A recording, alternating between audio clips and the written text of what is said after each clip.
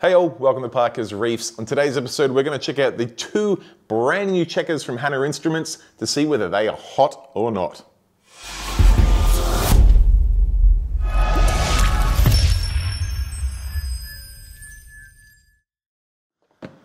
All right, thank you for joining me on another episode of Parker's Reefs. And as touched on in the intro, I have both the brand new Hanna checkers from Hanna Instruments, including the much talked about magnesium checker, and to be fair, the much less talked about ammonia checker. We'll go through, have a look what's included in each of the kits, what the process is involved in the testing, and we'll have a look at the results I get to see whether they are useful or not for your application. Let's start off with the ammonia checker. We'll rip right into it right now. All right, here we are, the Hanna Marine Ammonia Checker. It's got this beautiful yellow color and it's uh, littered with yellow tangs on the front. Let's rip the box open. You can see it's this new larger format of box that a lot of the checkers seem to be coming out with. We get the checker itself. We get a battery to put in it, which we'll put in in a second. We get a couple of uh, curvettes or cuvettes. I'm not quite sure how you pronounce that, but we'll go with that. We get a little uh, pipette, we get a reagent A, we get a reagent B, I think that is, reagent C, my apologies, and a handful of reagent Bs. And last but not least, we get some instructions, if I can get them out.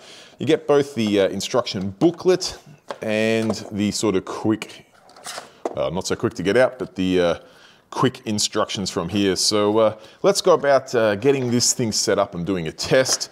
First of all, we're going to just pop open the bottom of the unit and put the battery in super quick. All right, we are now ready to perform a test. So I'm going to grab the uh, quick instruction sheet. We'll have a look here. It says first thing we do is press the button. We grab 10 milliliters of water to put into the cuvette. We put 18 drops of reagent A. We put a sachet of reagent B. We give it a shake until there's no bubbles. We then give it 30 seconds. We put it in the checker, probably let the bubbles dissipate. We press the button until it goes to C2. We add 12 drops of reagent C, tip the cuvette over five times, pop it back in and hold the button down. We get a 15 minute counter and then our ammonia level is present. Now, obviously, if I'm gonna grab some water from my tank, I'm expecting there to be no ammonia there. So I'm gonna cheat a little bit and pop one drop of uh, Dr. Tim's ammonium chloride in the uh, sample just to see if uh, we do indeed get a, a uh, little ammonia reading, which we should um, I can probably work out this does have the uh, concentration on it, I believe, or someone out there will know what the concentration is. So we can work out what one or two drops is going to equate to. But effectively, I'm looking for any reagent, oh, sorry, effectively I'm looking for any reading of ammonia by putting one or two drops of this in the sample. So um, let's go about getting some water. All right, now I probably should start with step one. I'm gonna turn the checker on, so I press the button and it should show us C1. Good, we can pop that aside. I've then got 10 milliliters of tank water, and then I'm about to pop the reagent A in, but just before I do, I'm gonna open this up and just grab one little drop of our uh, ammonia chloride. There we go, that should give us something to result on. All right, I'm just gonna give that a little swirl in there just to um, sure it's mixed in nice and evenly. Okay, now we've got to get uh, our reagent A and put 18 drops of it in, which is quite a lot, but let me just count through it as I add them in. All right, 18 drops of that. I will say that the uh, drops were nice and consistent at least, which is handy. And uh, we can go and pop uh, one sachet of reagent B in. Now I know they tell you to cut both sides, but um, I don't know, personally, it's a full sachet, I'll give you that. I get better results just taking the top off and then just tipping in like this. You create a little spout and uh, tip him in. All right, that's got all of that reagent done. Now we are to pop the lid on and give it a uh, invert.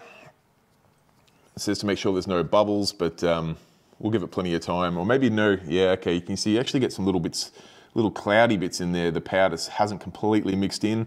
So I think that's what it means by that. You got to shake it until it's uh, completely gone. So I will do that, which does take a decent amount of mixing, I'll give you that. And I've given it a pretty vigorous shake and I've still got a couple of little uh, floaties in there. It seems to have mostly gone now, it's just some bubbles. So I'll give that the 30 seconds to dissipate those bubbles. I'll get our checker ready to do the next step. All right, it looks like that has now mixed in. So I'm gonna pop him back into our checker and I always like to line up the uh, markings just so I'm putting it in vaguely the same spot. I'll press the uh, button, wait till that goes to C2, which does take a second by the looks. All right, we've now got C2 on the screen, so we can take the curvette out. We can add in 12 drops of reagent C. One thing I will say is the checker vial or curvette now is incredibly full with all of these drops. I'm gonna tip it up five times. I'll give it a little wipe just to make sure there's no fingerprints on there. Pop him back into our checker, hold the button down, and we should get a 15 minute countdown. I'll let the time run for a little while and then we'll see what the result is.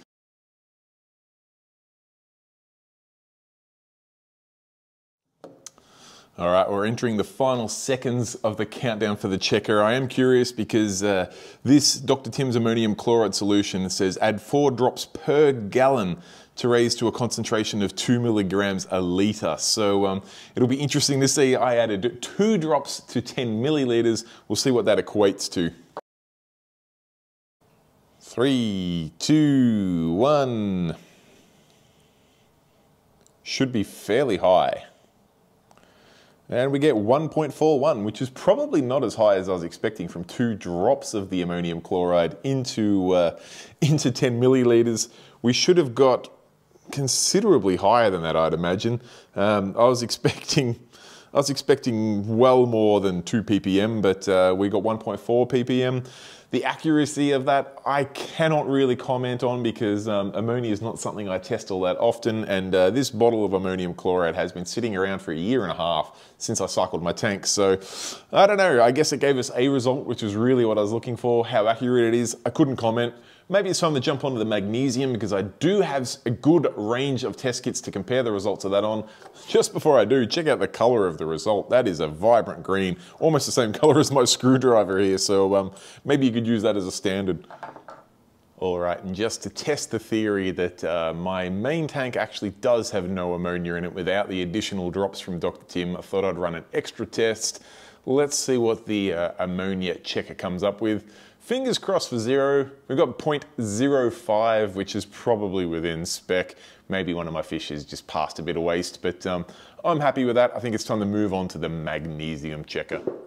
All right, onto our magnesium checker. Let's see what we get. Again, it's the fairly standard uh, large form factor that uh, they seem to come in these days.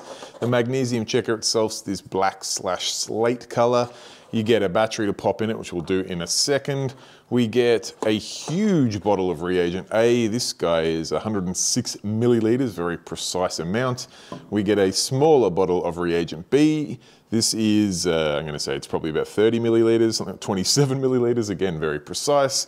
We get a couple of curvettes. We get a bunch of syringes. We get a few of these five milliliter syringes, one with blue lines, one with black lines.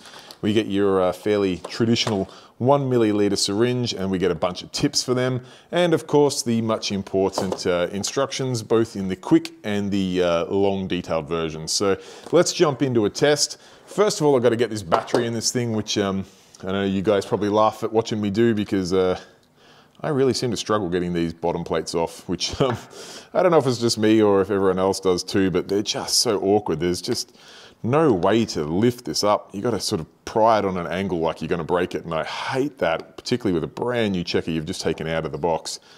I don't want to feel like I'm about to break it. Oh, that feels horrible. All right, drop the battery in again, flat side down, positive side up. You make sure you get those little connector pins in, push that down. You can hold it while you pop the screw in. All right, that guy is ready to go. Now, before we go any quicker, let's have a any further, let's have a quick look at the instructions. It says to turn it on, get C1, we get four milliliters of reagent A. Then we get uh, five milliliters of tank water, tip it upside down five times. Then you, oh, you put it in, press C2, we get one milliliter of reagent B tip it upside down five times, press the, uh, put the checker back in, press the button, and you should then get your result. So let's see how we go. First of all, turn it on, get our checker, let's add four milliliters. Make sure I'm using the correct colored syringe. All right, so it says to use the black syringe with a tip on it. We need four milliliters of this, so uh, let's go about getting that. It does come all nicely sealed up. That being said, the seal is difficult to break and didn't break at all. we'll come back to four milliliters and uh, pour that in sit that aside with the tip in it. Might have to try and fish that out later. I'm sure that's not the way it's meant to work. Now we've got to get um, five milliliters of tank water, which we use the blue syringe for. Let me do that now. Okay, I've got five milliliters of uh, tank water. You go to the bottom of the syringe, should line up with a five milliliter line. Pour that in. All right, now we've got to pop our cap back on, tip it up and down five times. Two, three, four, five. Sweet. We can go over to the second side of the instructions. Now I'll give this a quick clean with my jumper like all uh, good lads do. Pop that into our checker. I do actually normally like to try and line up the uh, 10 milliliter indication with the front of the unit. Press the button. It should flash for a second and then go to C2. And it'll get there. All right, we got C2 having equally as much trouble opening the seal on uh, the second reagent, but that's okay. We'll take the curvette out, open the cap. Let's get one milliliter of this reagent. I'm not going to use the tip because I lost the last one in there. All right, right to the bottom of the syringe. This is a bright colored reagent. Check out that fanciness. All right, I'm going to put the cap back on my reagent because uh, Hannas are known to potentially go off with the exposure of air. All right, we're going to tip him up five times. Three, four, five. Give it a little wipe on the uh, jumper. Get this funky purple color. Pop him back into our checker. Press our button. Let's see what we get. Wow, okay it has come back incredibly high at uh, 1760. That does seem to uh, replicate what uh, others are saying online. I know my magnesium based off both ICP results, daily Mastertronic tests, and occasional manual tests, that my magnesium is currently around the 1360, 1380 mark, which means this is reading, according to those tests, about three to 400 ppm high. And uh, you can see I'm near the maximum of this unit, which does top out at 1800. So um, I'll let you make your own opinions on based off that. All right, just for fun, I thought I'd grab some reference solution. This is a 1310 ppm reference solution. I'm curious to see if we can get some uh, repeatable results to see just if the Hanna checker is reading high or if all of my other test kits are out. So um, I agree this is probably not the most scientific solution, but um, I'm gonna do another test with this and just give us a bit more data to compare with. So um, I might speed the footage up so you don't have to go through the whole process again, but uh, let me get stuck into it.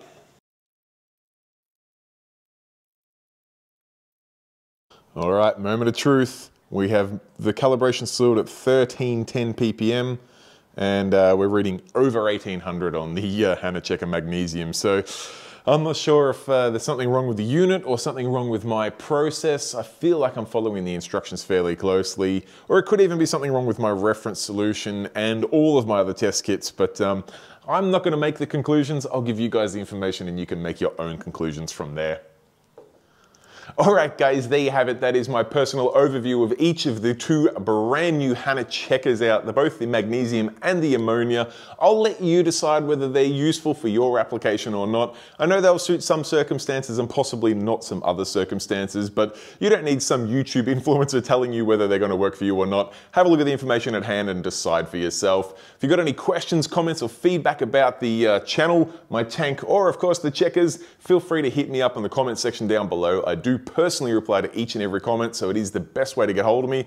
Other than that, guys, if you enjoyed the video and you're keeping up with the content, feel free to give it a thumbs up and consider subscribing in that button in the bottom left-hand corner or right-hand corner. Always confuses me. Other than that, guys, till next time, stay safe, keep roofing. Cheers, bye.